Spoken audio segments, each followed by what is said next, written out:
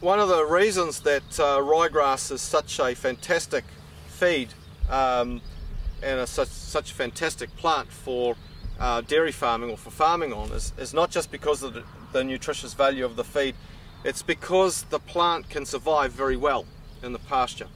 And, uh, and, it, and it does that by the two methods, one of the vegetative reproduction we talked about and the other of putting up seed heads. And uh, one of the things we have to understand is how committed these tillers get when they when you give them the opportunity to put up seed head because um, you've got to understand where the energy comes from. There's um, we talked about the energy of the leaves and how to sustain that we have to let a third leaf build up energy supplies down in the crown. Well when the seed head starts to grow and really and emerge there's a lot of energy required by the plant to build that stem and then to fill the seeds with carbohydrate so the seeds are viable. And we've got a, you know, and that, that's a big energy demand. Now that can't all come from the leaves, from the sunlight. So what happens is the plant actually takes a lot more energy out of its roots. So not just from the crown, but out of its roots. And, and it's a kind of a, almost a do or die for a an annual ryegrass, this is a do or die thing. It throws everything it has from its roots uh, up into the seed head for a perennial.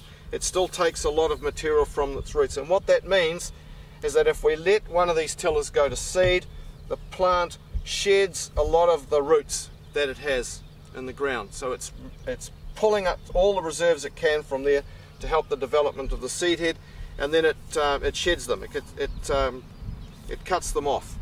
Now for a lot of New Zealand farmers without irrigation, this is a really critical event because this happens at the end of spring leading into the summer.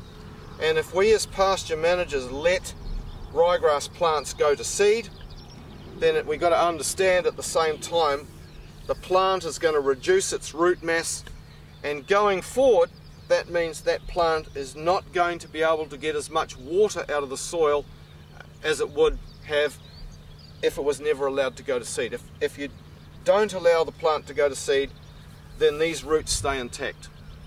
And, and so grazing management to graze down here and eat the seed heads before they appear is vital in dry land farming or non-irrigated farming uh, situations because what it means is we have actively growing uh, tillers or plants with lots of daughter tillers with strong root systems which means the plant is the best setup it can be to go into the summer.